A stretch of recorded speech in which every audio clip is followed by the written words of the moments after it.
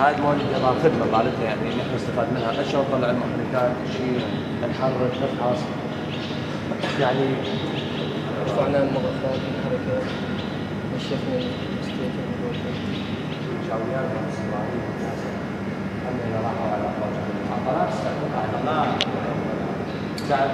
واحد بدينا بال- بالعمل. يعني نعيش ثلاث ساعات ساعدنا إحنا سبعة. ما تعرف إيش نسوي؟ نحن عم نشتغل على مهلة؟ لأن كهرباء. أستاذ ما بس الكهرباء أستاذ شبكة. مشكله الشبكات يعني نحن عندنا كسورات هسه يعني بالوقت الحالي هي هنا المعضلة؟ إيه أستاذ إيه. ما في تتقارب اضرار اضرار ما تتقارب ساعدنا إحنا سبعة هنا عم نشتغل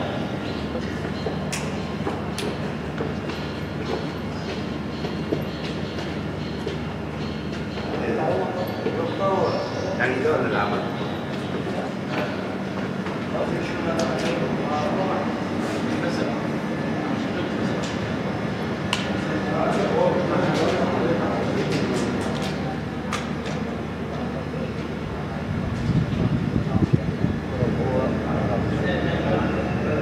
هذا انت تعرف بس المشروع.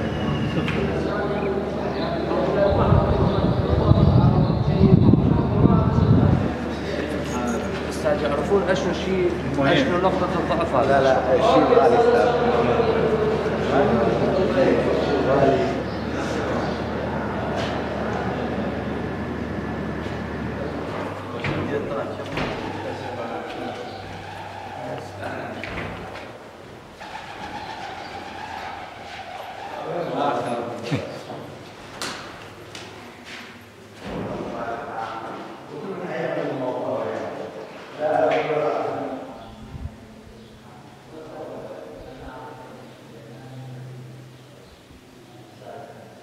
ضمن حملة تقديم خدمات إلى جانب الأيمن من مدينة الموصل وتأهيل وتشغيل مشاريع الخدمية في جانب الأيمن. اليوم قمنا بإشراف إلى مشروع ماء أيمن الموحد آه، لتشغيله وتأهيله لضخ الماء إيصال الماء إلى أحياء من جانب ال- ال- الأيمن.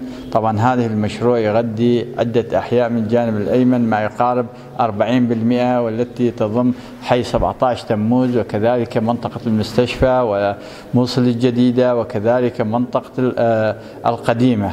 موصل القديمة تغذى من هذا المشروع. آه، طبعا مشروع ماشي على قدم وساق. لا يوجد أي مشكلة أو معوقات يذكر في هذه المشروع سوى أن ننتظر أن يصل المغذي الكهرباء من جانب الأيسر إلى الأيمن. آه، إن شاء الله نأمل أن يكون في أيام القليلة المقبلة. تصل الماء ويتم تشغيل الماء وتشغيل المشروع وضخ الماء إلى الأحياء التي ذكر- ذكرناها لكي يتم إعادة واستقرار المواطنين في جانب الأيمن من مدينة الموصل. تشرفنا اليوم بزيارة السيد لقمان الرشيد عضو مجلس محافظة نينوى للاطلاع على أعمال الصيانة الخاصة بمشروع ماء الأيمن الواحد مشروع حاول اللي يقع في حاول كنيسة.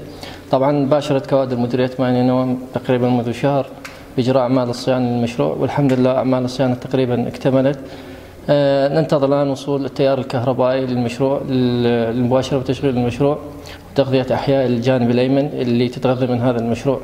ونشكر كادر الموصلية لمتابعة وتغذية أعمال الصيانة للمشروع تشرفنا اليوم بزيارة الأستاذ لقمان الرشيدي إلى مشروع ماء حاوي الكنيسة وأن المشروع يعمل إن شاء الله حين توفر الكهرباء الوطنية.